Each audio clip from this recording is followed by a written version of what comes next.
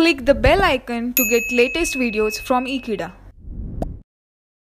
Hello friends, in the previous topic we have discussed about the F-block elements as well as we have also discussed about the inner transition series.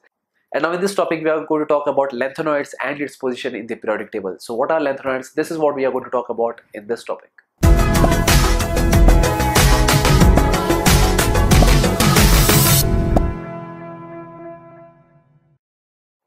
So friends, talking about lanthanoids, that is the series involving the filling of 4f orbitals following the lanthanum is called as lanthanoid series and the elements present in this series are known as lanthanoids. So based on that, let me give you a certain idea that's where the lanthanoids are being present. So friends, now I'm going to talk about lanthanoids. So lanthanoids are nothing but they are series after the, that is lanthanum.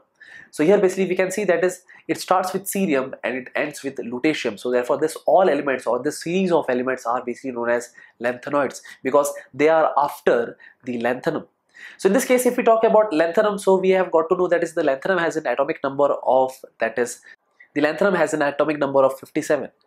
So after that it's cerium which is having an atomic number of 58 and then it ends with that is lutetium which ends with an atomic number of 71 and after that the hafnium is basically present in this position where it is belonging to the sixth period and the fourth group so why does all these elements are placed in this position only? The reason behind that is as we understand that is in the periodic table the chapter periodic table also we have got to know. That is we arrange the elements in such a way that is the atomic size it goes on decreasing across the period. The atomic size will go on increasing if we are keeping it that is that is from up to down that is from top to bottom. So as the atomic size increases that is from top to bottom then we also observe that is the atomic size decreases that is across the period. So but in talking about lanthanoids so it has been found that is there is no that much change in the atomic size and all the atomic size that is I'm going to talk about here is almost the same. And that's the reason that not only because of the atomic size because of all the chemical properties which is very much similar to that of lanthanum so therefore this all have basically kept in this position only.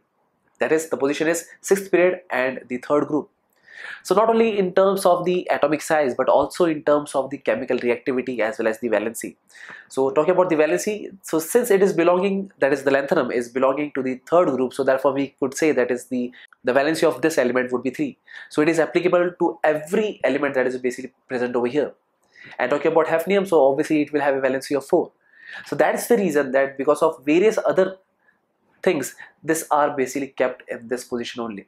And talking about, suppose if all these elements have been kept that is from side by side, so in that case the whole periodic table would have been disrupted and that's the reason that there are many reasons for which this all lanthanoids are basically kept in this position. So therefore this is the position of lanthanoids that is what I have discussed about here and that is nothing but the sixth period and the third group and that's it. So thank you friends for watching this video. I hope you have understood the lanthanoids and as well as you have also understood the position of the lanthanoids in the periodic table. And I hope I'll see you next time. Till then, don't forget to subscribe Ekeeda channel. Thank you so much.